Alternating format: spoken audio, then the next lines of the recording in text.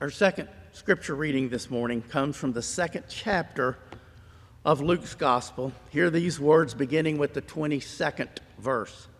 When the time came for their purification, according to the law of Moses, they, Mary and Joseph, brought him, Jesus, up to Jerusalem to present him to the Lord, as it is written in the law of the Lord. Every firstborn male shall be designated as holy to the Lord. And they offered a sacrifice according to what is stated in the law of the Lord a pair of turtle doves or two young pigeons. Now there was a man in Jerusalem whose name was Simeon. This man was righteous and devout, looking forward to the consolation of Israel, and the Holy Spirit rested on him. It had been revealed to him by the Holy Spirit that he would not see death before he had seen the Lord's Messiah.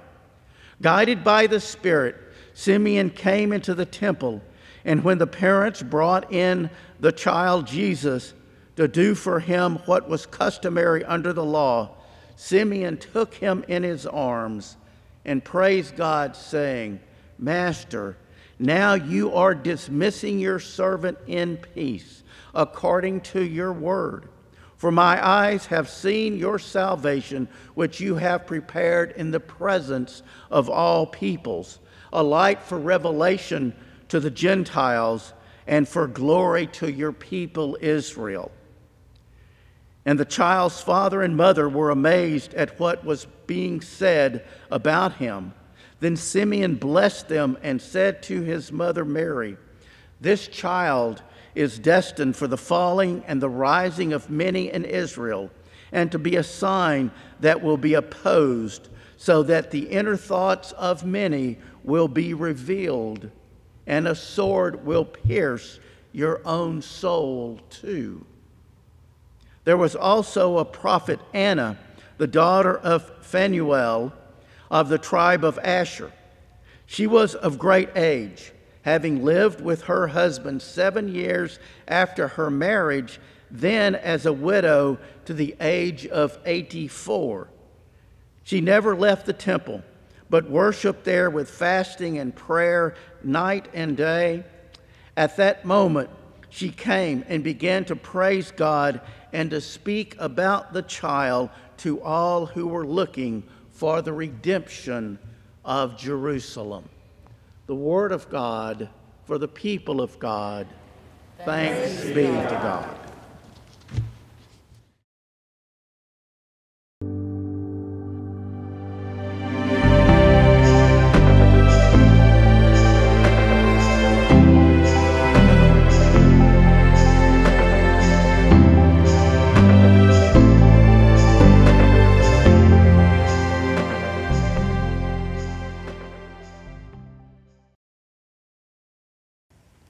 Friends, please join me in a spirit of prayer. Our gracious sovereign and our God, assist me to proclaim, to spread to all the world abroad the honors and glories of thy name. Amen. Who are you looking for? What are you hoping to find? What Jesus are you hoping will be revealed this Christmas season? Do you even know what you're seeking? I think those earliest, kind of, if we can call them Christians, knew what they were seeking. This story of Simeon and Anna are just amazing. These two people who are there in the presence of the temple, but knew there was something else they were expecting. In fact, in the whole Gospel of Luke, the story we have is of people expecting something. That this one who is to come, who is the Messiah, is a kind of difference maker in their lives. That something has happened that God is doing that is changing the world. So I wonder who are you looking for this Christmas? Are you looking for someone to change your life? Are you looking for a different path? Are you hoping for a different pattern? Are you just kind of going through the motions of doing what you've always done? Because our story seems to start there, right? We're told that the Holy Family goes into the temple to present the child in the tradition that they knew to be in accordance with the law, yes, but also the way things had been done in that family for generations. They were going through the motions, they were leaning on their ancestry, they were doing what their family had taught them to do. What we don't hear is them talking about the angels. We don't hear them talking about the shepherds who have shown up in Luke. We don't hear them celebrating the story that indeed this one they hold and they go in the temple to present is the Lord. And it makes me wonder, friends, have they forgotten already? Like, have they missed it? But here they go to the Lord to present and offer up the baby Jesus so that Jesus can be presented. And we're told that as that's occurring, this old man who had had the Spirit kind of witness to him, we're told his name is Simeon. He gets a nudging, and suddenly he kind of rushes to the temple. And I wonder what he left behind. I mean, like, what kind of daily tasks did he have going on? I mean, it's not Christmas Day anymore.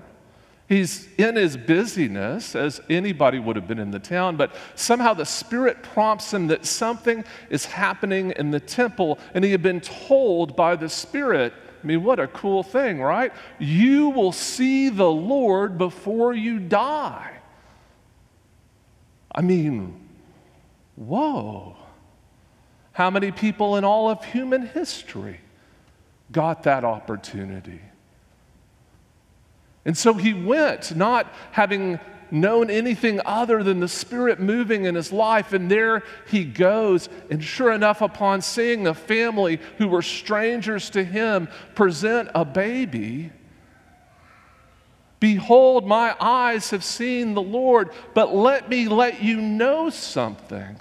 This is not just any child. This child will have a sword that will pierce your soul and reveal your inner thoughts. Oh my. Like, I hope none of your children do that, right? Don't worry, they will, right? Every child will reveal for you all the things you're amazing at and all the things you're not. My advice to you is love them anyway, okay? Because they're gonna love you, but just you got to learn how to do that. But I mean, he could have said that about any child, but there was something deeper he was telling them about who this is. And think about that. After seeing that one baby, he died happy and fulfilled. Anyone who's held up close a baby knows the joy and the hope, the expectation of what might be the vulnerability of who we are as humans. But he also knew something even more that into this world of frailty and challenge and decay and suffering, into a world that oftentimes feels full of heartache and lament, a child was being born that would change everything. And so, again, what do I, I asked, like, what are you looking for this Christmas? Are you expecting to meet this child who changes everything? Are you expecting to encounter this one who can transform your heart and by transforming your heart somehow change the world? And the text continues, and there is Anna. Now, Anna's a little different, and I don't know how far the cameras can follow me over, but like if you come all the way over here, I mean, she would have been like hiding out in the transepts or around the edge of the church, like some of the people who live and shelter in places that the temple would provide. Like Psalm 84 says, even the birds of the air find a place to nest in the columns of the temple of the Lord. That somehow she was out on the periphery, a person off the street, a person without means, no status, no power. And there she was, kind of in the side columns of the temple, in the outermost place. Remember, as a woman, at that time, she wasn't even allowed into the holiest of holies or the places where the altar was. But she found safety there and a place to be. And she sees what's going on and recognizes this child and has revealed to her who he is. And she, like Simeon, recognizes that indeed she has met the Lord. Who have you met? Who have you met? And has it made a difference? Because no matter who you're looking for this Christmas season, no matter what you think you need or are trying to find, the good news of the gospel is that for all eternity, Jesus has been looking for you. Jesus has been trying to find you to meet you, to have you just open a little bit of your heart to the possibilities of how God might make a difference in your life and how, because of who Jesus is, everything in the world might be different. This morning, like many of you, I woke up to the news that Desmond Tutu had passed. Um, how many of y'all have heard of Desmond Tutu? Anybody? Right? An Anglican bishop who worked to end apartheid in South Africa, did amazing humanitarian aid throughout the world. He received a, a Nobel Peace Prize back in 1984, and at his speech, and again, there's so many quotes, so if you love him and you have all his quotes, I'm sorry, it's just, this is one of my favorite.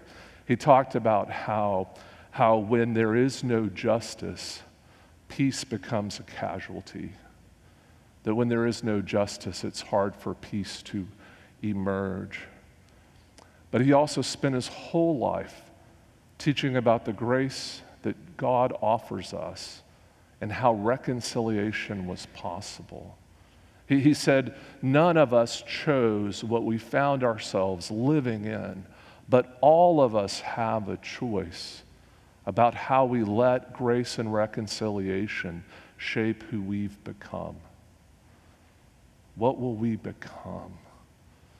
I think fundamentally he understood what he was looking for to find in this child hope for all people, the blessing of what might be when we just open our heart a little bit or take the tradition we've inherited and the blessing of the baptisms of our family and those we loved and somehow allow them to become made real in us through the presence of Jesus, we might go to the world to make a difference. Like Simeon, here's a person who everybody would have known, and God got hold of him and made a profound difference. Now, how many of you have ever heard of Jean Barnhart? Anybody?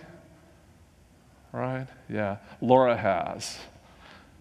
She was a friend of ours in the first church I served in Nacogdoches. Most of us have never heard of her. She had an amazing life.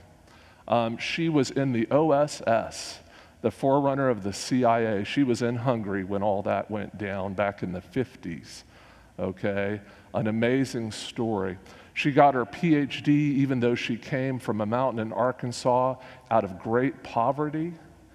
And she dedicated her life to eventually helping kids. She always wanted, she told me, she always wanted to work with the children who were, quote, behavior problems so the other teachers could teach and she could help. She was a forerunner for what would become modern special ed uh, in the States as it became more prevalent. And she made a profound difference in life after life after life. In fact, as she got a little bit older, as she was still serving and working in the school district, um, they had called her to a situation where she was helping someone kind of de escalate things. And he was mad and he kind of swung a door and hit her in the head, and she had to be hospitalized for several weeks and had a long road to recovery.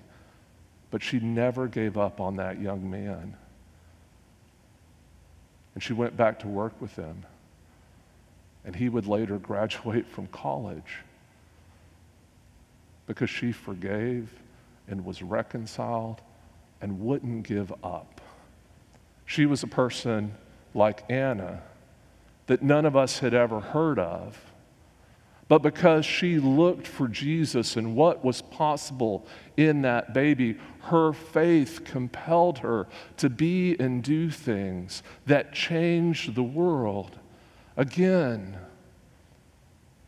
who are you hoping to find in the baby Jesus? Be ready.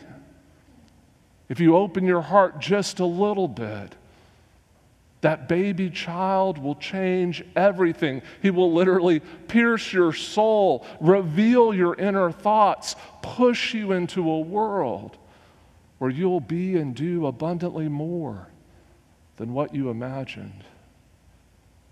But, oh, friends, not only since the beginning of the time has God been looking for you, God will meet any faithfulness and response you make with a blessing beyond anything you can imagine.